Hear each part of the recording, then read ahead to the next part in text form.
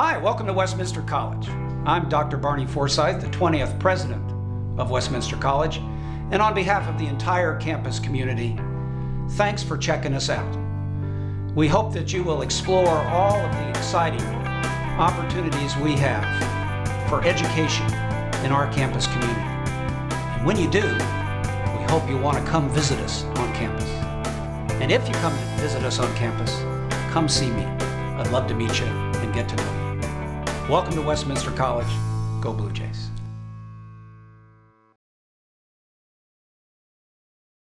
My name's Kelly Sylvie and I'm the Director of Admissions at Westminster College. Welcome. We're glad to have you here and to welcome you to Champ Auditorium where your visit experience in our admissions office will begin. The Elizabeth T. Champ Auditorium, built in 1966, seats 1,400 people for concerts, lectures, dramatic productions, movies, and other college events such as commencement. The lower level houses the Office of Enrollment Services, as well as a music rehearsal space and classroom.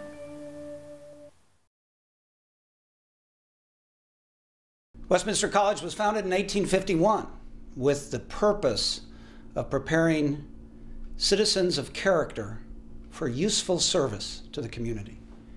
That mission is timeless and it's also timely. For Westminster College today has the mission to develop young men and women to be leaders of character for service in a global community. Indeed, the nature of our community has expanded over the course of the last century and a half. And now we are preparing our graduates to make a difference in the world wherever they find themselves. And in fact, we've assembled that world here in Fulton, Missouri, on our campus, in America's heartland, a safe and secure place where the world can come together to study, to learn from one another, and to prepare themselves to make a difference, wherever they go after graduation. We've got students from 28 states in the United States and over 60 countries, all gathered here to prepare themselves for leadership and service for a lifetime. Westminster College is on the move, and we'd like for you to come experience that momentum with us. We've recently received a number of very strong ratings from national outlets, including Forbes magazine, which rated Westminster College one of the top values in American higher education. And we know that that's important to parents as well as to students. Our national survey of student engagement results are off the charts. Our students tell us that Westminster College ranks in the top 10% or better of all colleges and universities in important educational experiences that make a difference in student learning. So what's the transformation that takes place between the columns? Well, at the core is a high quality liberal arts education.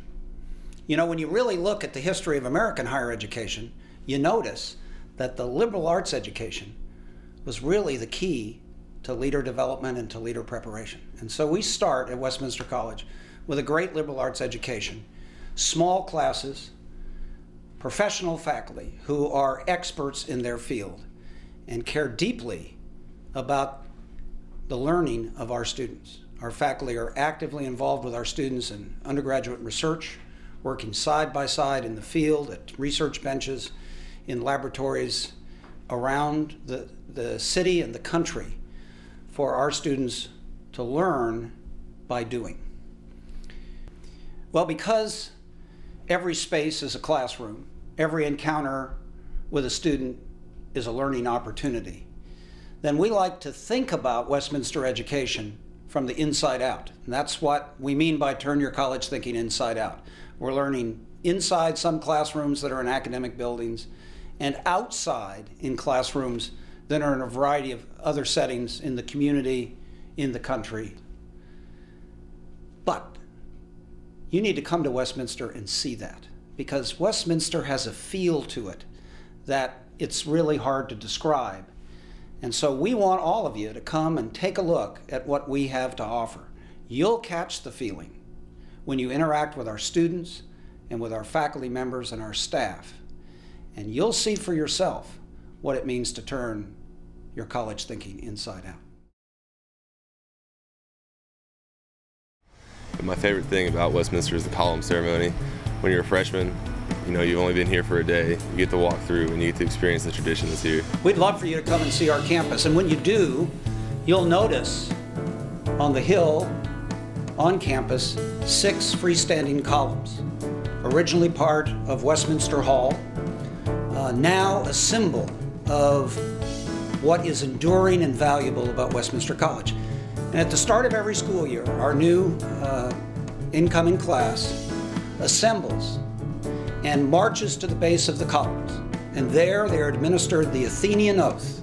They promise to live as members of our learning community and to uphold our values and our traditions of excellence. They're then invited to walk through the columns and join the rest of the community assembled on the uphill side of the columns in full regalia to become members of the Westminster community. Four years later, the graduating class with diplomas in hand march back to the columns and then through the columns out into the world to make a difference as leaders of character for service. Now, Westminster tradition holds that in the four years that our students are here, they, they never walk across the space of the columns. It's sacred and holy ground. And the story of the Westminster education is the story of the transformation that takes place in the lives of our students between the columns, between freshman convocation and senior graduation.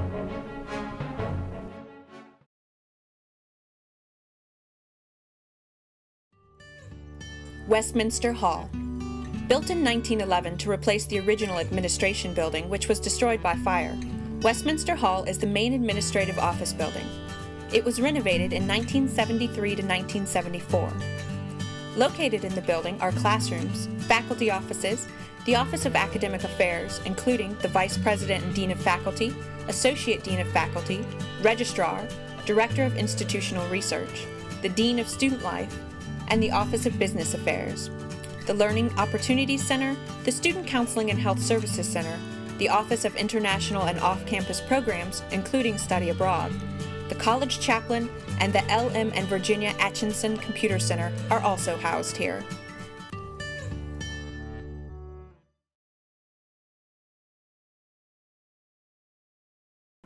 Newnham Hall. Named for the late Eugene Newnham, 1932, this building, formerly called the Hall of Science, is the oldest on campus. Built in 1901, the structure has been extensively remodeled on the top and main levels to provide space for general classrooms and faculty offices in foreign languages, sociology, anthropology, and classics. The lower level serves as the Office of Career Services and includes the Richard Career Resource Center, a large job and internship exploration and support center. Career Services emphasizes internships and networking. Two rooms are set up for mock interviews. Westminster has a 90 to 96% employment rate for graduating seniors within the first six months of graduation.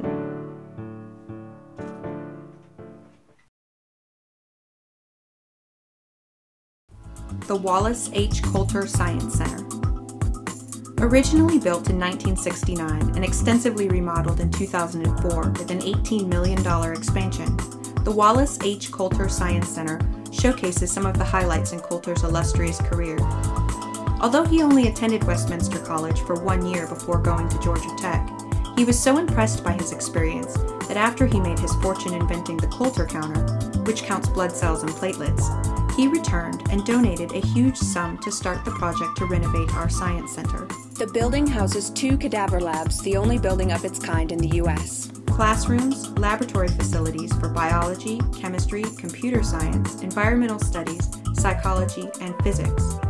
Faculty offices for these disciplines, as well as mathematical sciences, are also housed here. Faculty were asked to provide input before architects were hired to draw up the plans. Note the double helix staircase that represents DNA. The focus here is to create an exceptional learning atmosphere and to offer rooms for student research on a large scale. There are many study areas in the hallways with internet access, smart boards, and dry erase boards for student use. The center is open for study until 2 a.m.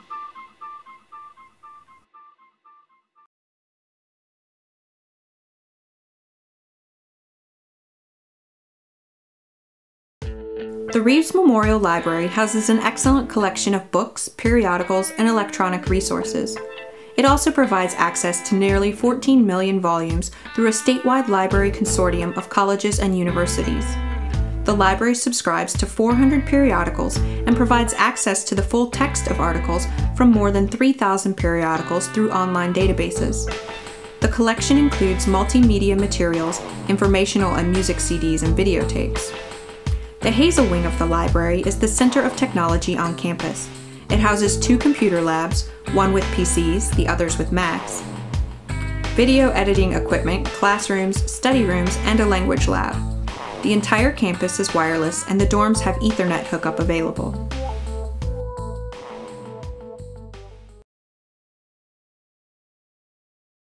This is the Washington West Mansion, now home of the President's Office. Originally a gift from Dr. Washington West in 1907, this building was the home to seven Westminster College presidents. It's a famous historical site because in 1946, this is where Sir Winston Churchill had the famous Kingdom of Callaway luncheon before he gave the Iron Curtain speech next door in the historic gym. In 1968, this mansion was converted to the President's office and is now home of alumni and college relations as well as my office. We hope you'll enjoy your tour of Westminster College. Have a great Blue Jay Day.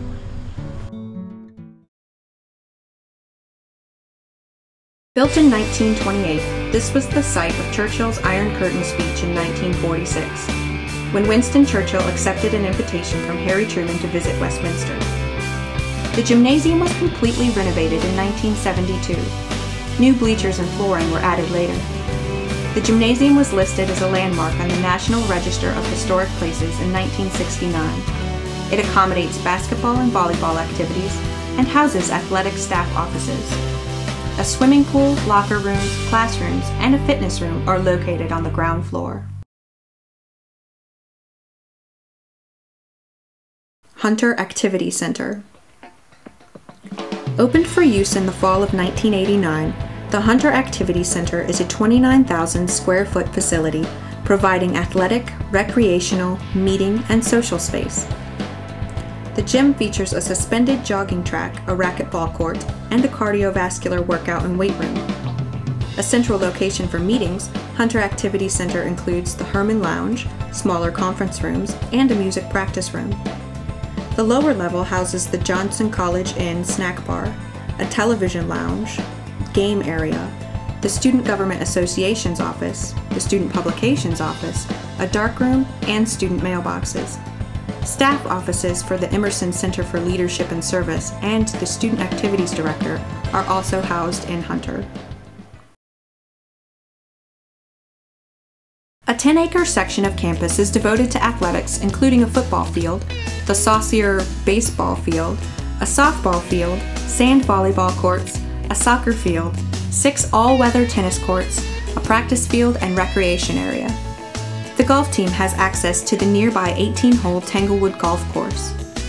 Men's sports include basketball, baseball, football, soccer, cross country, track, tennis, and golf. Women's sports include basketball, softball, soccer, cross country, track, tennis, golf, cheerleading, dance team, and volleyball. Westminster is a member of the St. Louis Intercollegiate Athletic Conference.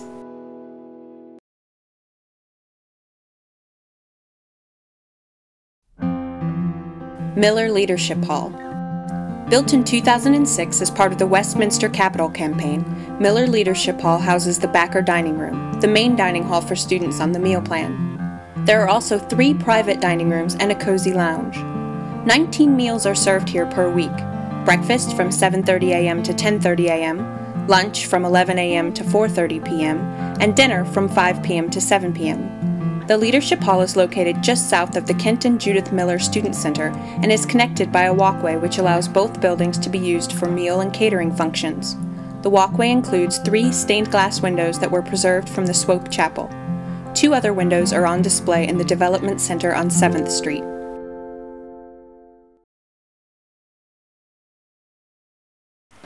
The Winston Churchill Quadrangle. The Winston Churchill Quadrangle, or the Quad, is comprised of five buildings that traditionally house Westminster's freshman class. Each of the five buildings accommodates about 300 students in eight person suites, which cuts down on noise and distraction with no corridor running the length of the building. Each suite has four rooms and a bathroom. The rooms have central air conditioning with individual thermostats, two internet hookups, and a phone. Each hall has a washer and dryer, vending machine, ice machine, microwave, and kitchen sink. The quad is the place to meet friends, to hang out, and to enjoy a pickup game of football when the weather is nice.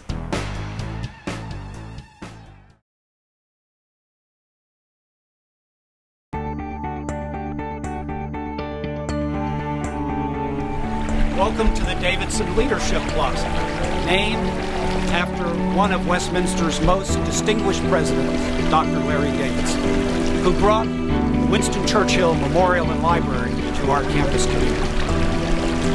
Leadership and service at the core of Westminster College's mission. The Davidson Leadership Plaza at the center of our campus community to remind us of our mission prepare young men and women to be leaders of character in a global community.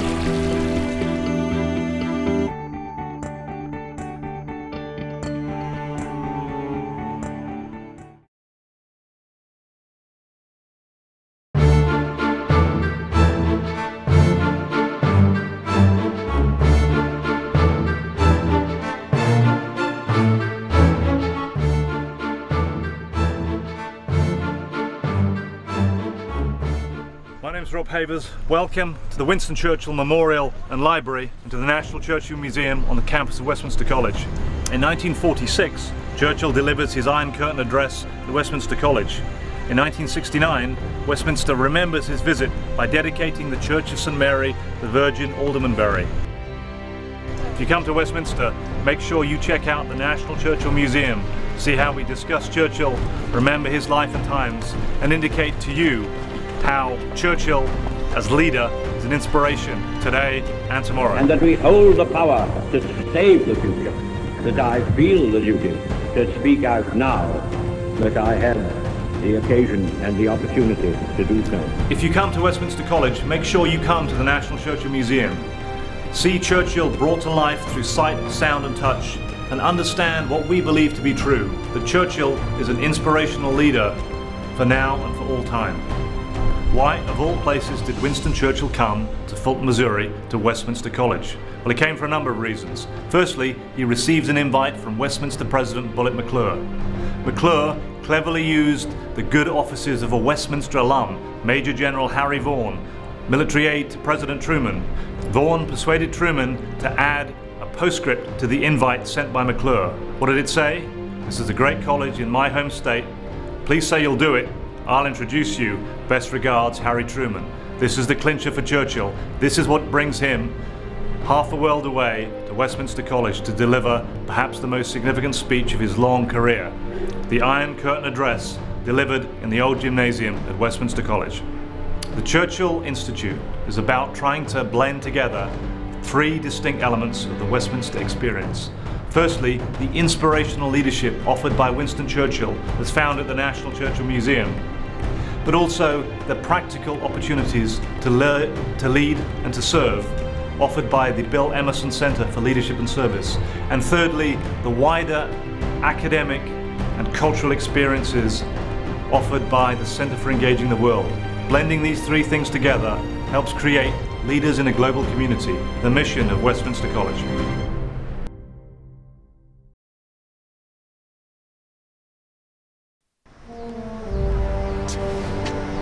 This is the breakthrough sculpture on the campus of Westminster College, created from eight sections of the original Berlin Wall and brought here by artist Edwina Sandys to commemorate the end of the Cold War. The breakthrough sculpture, created by artist Edwina Sandys, Winston Churchill's granddaughter, stands on the campus of Westminster College, the very place where her grandfather, Winston Churchill, spoke of the beginning of that same Cold War.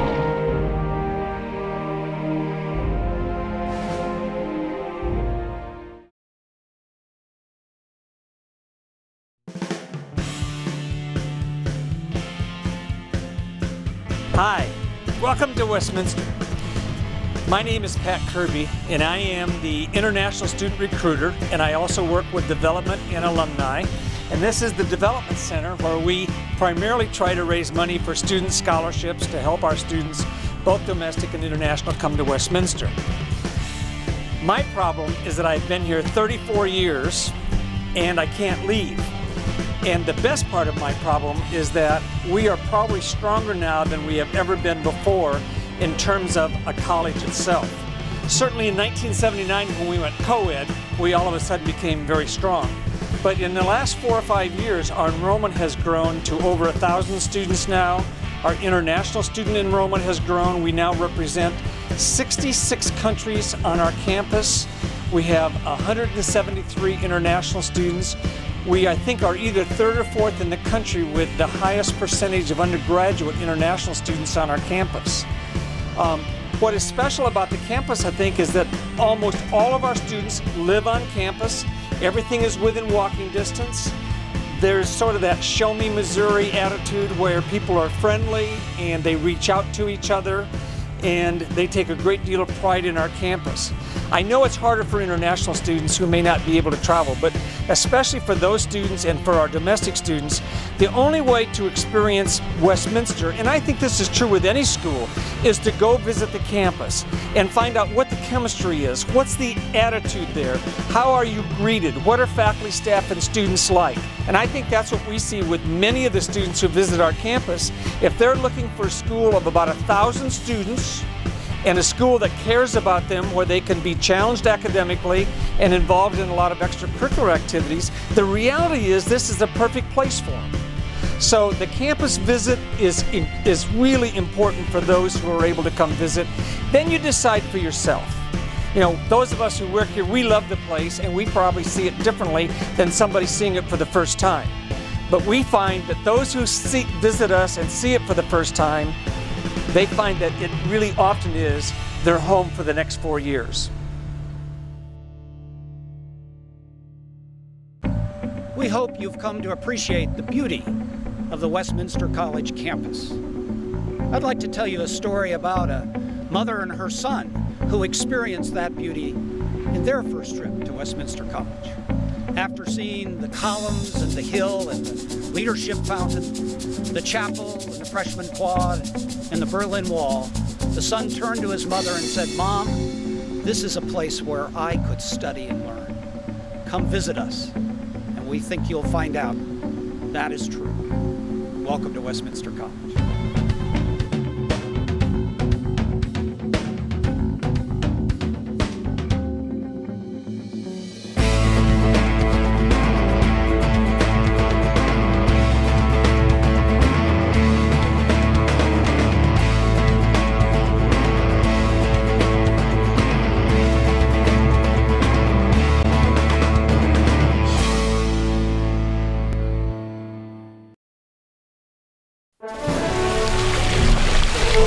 Visiting Westminster College. We were glad to have a chance to show you our campus and our wonderful educational opportunities. And we hope you'll come back to campus so that we can show you how to turn your college thinking inside out.